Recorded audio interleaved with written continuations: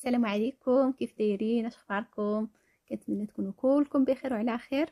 في هذا الفيديو غادي نوجدوا واحد ربعة ديال السلطات اللي كيجيو رائعين. صراحة كتجي وحدة أحسن من الأخرى واحد المذاق يا سلام. وهاد السلطات هادو كيرافقوا جميع أنواع الأطباق وكذلك يمكننا نوجدوهم ونحتفظ بهم في الثلاجة باش كيبقاو صالحين لواحد المدة.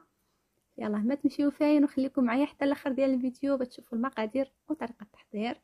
وبسم الله نبدأو في الوصفات ديالنا. هذه هي الخضيره اللي غادي نحتاجو باش غادي نوجدو هاد لي سالاد. عندنا هنا الدنجال أو الباذنجان عندنا الفلفل حلوة بالألوان.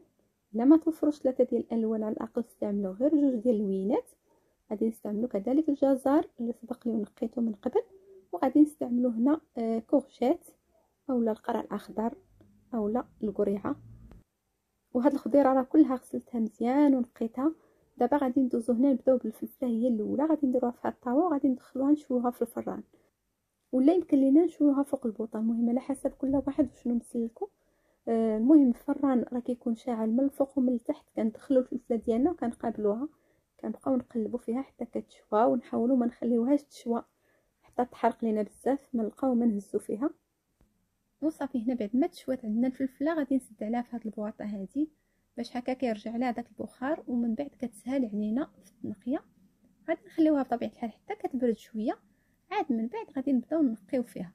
بالنسبة للتنقية ديالها كيف ما شفتوا معايا راه كتنقى بكل سهولة ما كتلقاوش معاها مشكل نهائيا. غادي نحيدو بطبيعة الحال دوك القشيرات غادي نحيدو ديك الزريعة اللي كتكون في القلب ديالها. من بعد ما كنقيوها مزيان راه كنديروها في شي شبيكة باش هكا كيتسقطر لينا داك الماء اللي فيها.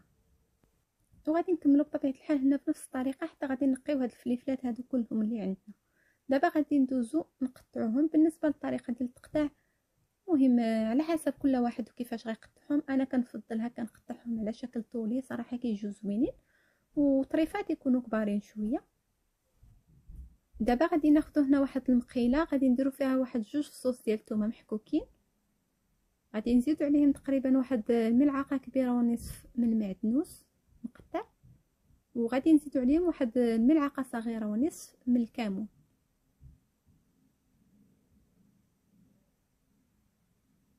غادي نزيدو عليهم شوية ديال الملح على حسب الذوق مع شوية ديال زيت الزيتون.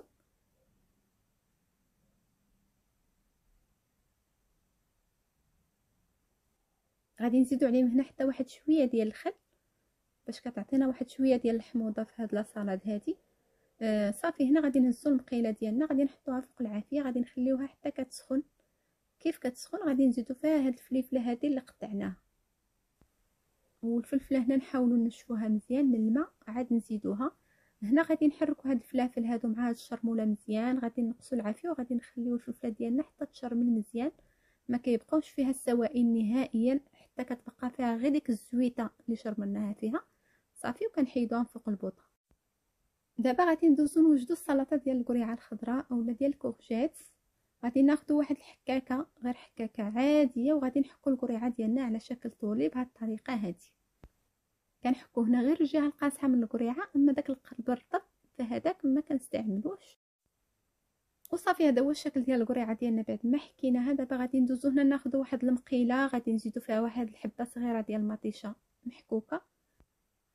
غادي نزيدو عليها شوية من القزبور والمعدنوس مقطعين. غادي نزيدو عليهم فص واحد ديال الثومه محكوك. غادي نزيد عليهم هنا واحد شوية ديال الهريسة اللي يمكن لينا نعوضوها في الفلفله حاره مطحونه والحار هنا راه كيبقى اختياري. غادي نزيدو هنا الفلفلة حمراء أو التحميره غادي نزيدو منها تقريبا واحد الملعقة صغيرة. غادي نزيدو واحد راس ملعقة من الإبزار مع واحد راس معلقة من الكمون. غادي نزيدو كذلك شوية ديال الملح الملح حسب الذوق. واخا استعملنا هنا الهريسة حامضة شوية غادي نزيدو حتى شوية ديال الخل لأن هاد السلطة هذه ديال القريعة كتجي زوينة بزاف وهي محمضة. غادي نزيدو كذلك شوية ديال زيت الزيتون وغادي نزيدو حتى واحد راس ملعقة من الخرقوم بلدي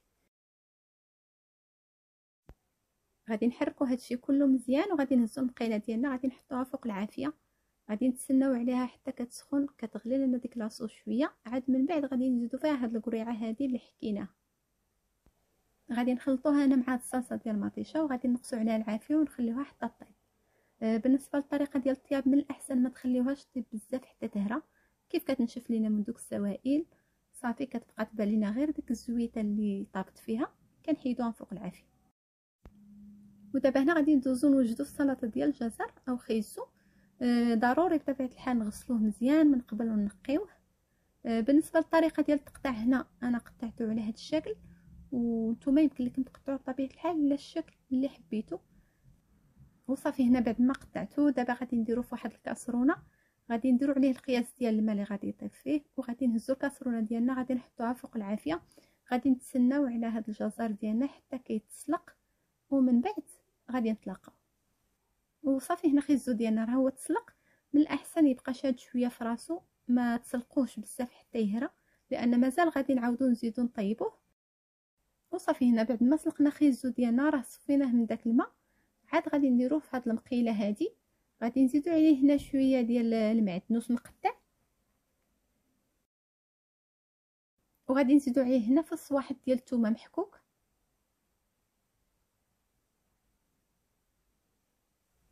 وغادي نزيدو معاه الفلفله حمراء أو التحميرة. غادي نزيدو تقريبا واحد الملعقة صغيرة عامره مزيان لأن هاد السلطة هذه كتبغي شوية ديال الفلفلة حمراء زياده وغادي نزيدو هنا الكمون. غادي نزيدو منه تقريبا واحد الملعقة صغيرة ما عامراش أنا غادي نزيد هنا حتى واحد شوية ديال الهريسة اللي يمكن لينا نعوضوها بفلفله حارة مطحونة الفلفله السودانية. المهم الحار هنا كذلك كيبقى اختياري. وغادي نزيدو هنا حتى شوية ديال الخل. لأن حتى هاد السلطة هذه ديال الجزر كتجي زوينة صراحة وهي محمضه وغادي نزيدو مليحة على حسب الذوق ونزيدو شوية ديال زيت الزيتون. أنا في هاد السلطات هادو راه كيعجبني نستعمل الزيت البلدية وأنتم بطبيعة الحال غتستعملوا الزيت اللي متوفر عندكم. أو لا يمكن لكم تخلطوا ما بين البلدية والزيت العادية المهم على حسب اللي متوفر عندكم. المهم هنا راه خلطنا خيزو مع ديك العطرية اللي زدنا عليه. كنقصوا عليه العافية وكنخليوه يتشرمل مزيان على خاطرو.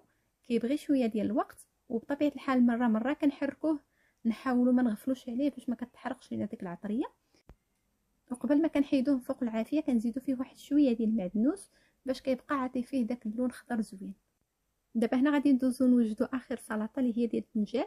غادي نوجدو الدنجال سالوك غادي ناخدو الدنجال ديالنا كنغسلوه مزيان كنحيدو ليه داك الريوس. كنقصو من ديك القشرة الكحلة كيف ما شفتوا معايا. صافي من بعد كنقسمو الدنجالات ديالنا على أربعة. وكنبداو كنقطعو فيها بهاد الطريقة هذه كنقطعو فيها طريفات صغارين. صافي هنا غادي نستمروا حتى غادي نقطعو الدنجالات ديالنا بجوجهم. غادي نديروهم في واحد المقله كيف ما شفتوا معايا. غادي نحطوها فوق العافية. وغادي نزيدو عليها شوية ديال زيت الزيتون. آه هنا كيبغي شوية ديال زيت الزيتون زيت أولا الزيت العاديه المهم على حسب الزيت اللي غادي تستعملوا حاولوا تكثروا منها شوية. غادي نحركوا الدنجال ديالنا هنا وغادي نغطيوه باش هكا كيرجع عليه داك البخار ودغيا كيطيب. مرة مرة كنحيدوا داك الغطاء كنحركوا الدنجال ديالنا مزيان وكنعاودوا نردوا داك الغطاء حتى كيطيب لينا الدنجال ديالنا. كيف كيتبان لينا الدنجال كنشوفوه راه هبط مبقاتش عندنا ديك الكمية الكثيرة اللي درنا في الأول. صافي معناتها راه طاب. دابا غادي نزيدو عليه هنا شوية ديال الثومه تقريبا واحد الفص واحد ديال الثومه محكوك وغادي نزيدو واحد الحبة ديال المطيشه مقطعة. غادي نخلطوهم مع الدنجال مزيان وغادي نخليوهم يزيدو يطيبوا واحد شوية.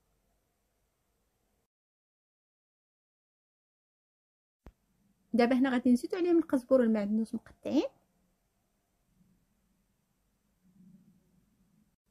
غادي نزيدو عليهم هنا الكمون تقريبا واحد الملعقة صغيرة. غادي نزيدو عليهم فلفله حمراء أو التحميره غادي نزيدو كذلك واحد الملعقة صغيرة. غادي نزيدو هنا شوية ديال الفلفله حارة مطحونة والسودانية. غادي نزيدو شوية ديال الملح على حسب الذوق. وغادي نزيدو فيه هنا واحد القطيرة ديال الحامض. يمكن لكم تعوضوه بطبيعة الحال بشوية ديال الخل. المهم هنا أنا راني كنزيد العطرية كنزيد داكشي اللي خاص ولكن في الأخر قبل ما نحيدو فوق العافية راني كنذوق إلا كان خاصو شي شوية مثلا ديال الحموضة اولا شي شوية ديال الحار شي شوية الملحة راه كنزيدو فيه. وهنا كيف ما شفتوا معايا بعد ما زدنا عليه العطرية راه خلطنا كلشي مزيان وخلينا الدنجال ديالنا كيتزعلك وصافي هنا هذا هو الشكل ديالو كيجي صراحة زوين بزاف. كيجي المذاق ديالو تقريبا بحال إلا مقلي في الزيت. وحتى خيزو مشرمل بحال الطريقة هذه راه كيجي واعر. كيجي صراحة المذاق ديالو زوين بزاف. كذلك القريعة كتجي شي حاجة روعة شي حاجة مختلفة واحد المذاق يا سلام. خلاص الفلافل بلا ما نشكرهم لكم راهم شاكرين روسهم فإن شاء الله تجربوا هاد لي سالاد هادو وتفكروني وخليو لي في التعاليق كيف جوكم وكيف ديما إلا عجبكم هاد الفيديو ما تنسونيش من لي لايك والتعاليق ديالكم الزوينة المحفزه خليتكم على خير معنا إن شاء الله فيديو آخر ووصفة أخرى. مع السلامة.